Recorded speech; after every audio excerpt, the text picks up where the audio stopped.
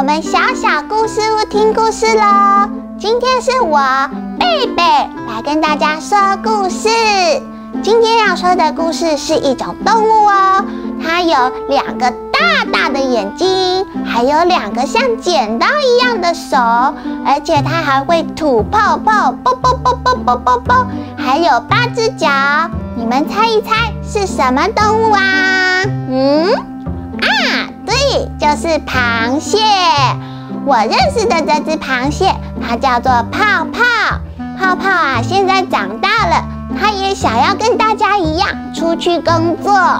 泡泡呢，走一走，走一走，看到了图书馆，它很想要进去工作哦。馆长看一看，嗯，你呀有八只脚，嗯，一定可以把书放得又快又好。可是才工作没多久。他就被馆长开除了，发生什么事了呀？我不是故意把书剪坏的。哦，原来他把书都剪坏了。不过没关系，泡泡继续找工作。他找到一个布店呢，布店的老板看到他也说：“嗯，你有一对大剪刀。”应该可以把布剪得又直又好，但是过没多久，他也被布店老板开除了。又发生什么事了呀？我的泡泡把布弄脏了，对不起。哎呦，原来他把布都弄脏了，泡泡好难过，他跑去看医生。医生，你可以帮我把我的大剪刀拔掉吗？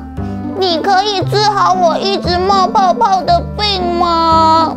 医生啊，听一听泡泡的说的话，也跟泡泡说：泡泡，你想一想哦，大剪刀跟吐泡泡都是你的特点。如果没有这两个东西的话，会发生什么事情呢？大剪刀，我就不能打败坏人了。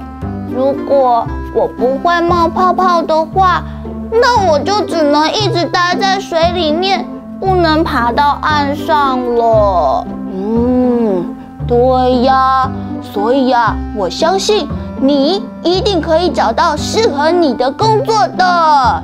嗯，在医生的鼓励之下，泡泡继续找工作。找到了一个肥皂店哦，肥皂店只有一个老板，每天用刀子削削削削削削削削削，要努力把肥皂切成不同形状。泡泡啊，这次进去找工作，老板看到他有一个大剪刀，很高兴，就说：“好，我让你帮我把肥皂都剪成不同的样子。”太好了，我找到工作了，耶！次泡泡把工作做得很好哦，他一下子就把肥皂切成很多漂亮的形状，而且泡泡很开心，就吐出了好多好多的泡泡，让肥皂店看起来好漂亮。很多人都来这里买肥皂哦，肥皂店的生意好好哦，老板很开心，泡泡找到工作了也很开心啊，小朋友。每一个人都有自己很特别、很厉害的地方哦，所以一定要相信自己哟。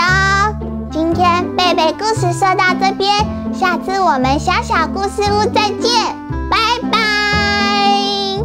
小朋友，你们喜欢听故事吗？喜欢听故事的话，欢迎订阅我们造咖亲子频道。